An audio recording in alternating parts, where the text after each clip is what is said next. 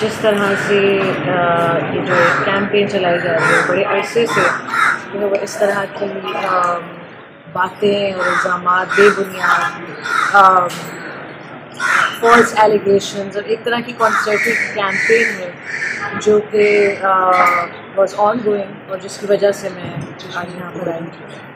मैंने नहीं सोचा था कि मेरा नया साल इस तरह शुरू होगा कि मैं अपने ऊपर किए जाने वाले कैरेक्टर असैसिनेशन की वजह से मुझे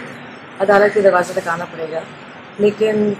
देर आया क्योंकि मेरे सब्र की मेरी बर्दाश्त की लिमिट क्रॉस हो चुकी है। एंड आई फील कि जो भी ये इस तरह की कैंपेन्स चलाते हैं या इंसिनुएशन करते हैं, उनको शर्म आनी चाहिए। साथ साथ उन लोगों को भी शर्म आनी चाहिए जो इस तरह के झूठ को, इस तरह की बकवास को, अफवाहों को आज के दौर में जबकि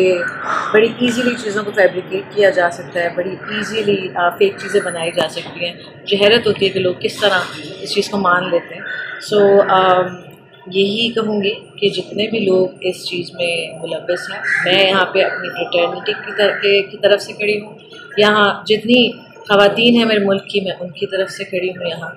ये बताने के लिए कि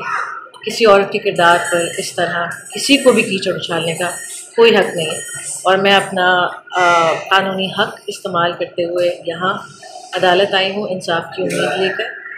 कि जितने भी लोग जो ये कर रहे हैं उनको इस बात का अंदाज़ा होना चाहिए पता होना चाहिए कि किसी की इस तरह कैरेक्टर असैसिनेशन करना सोशल मीडिया पर झूठ फैलाना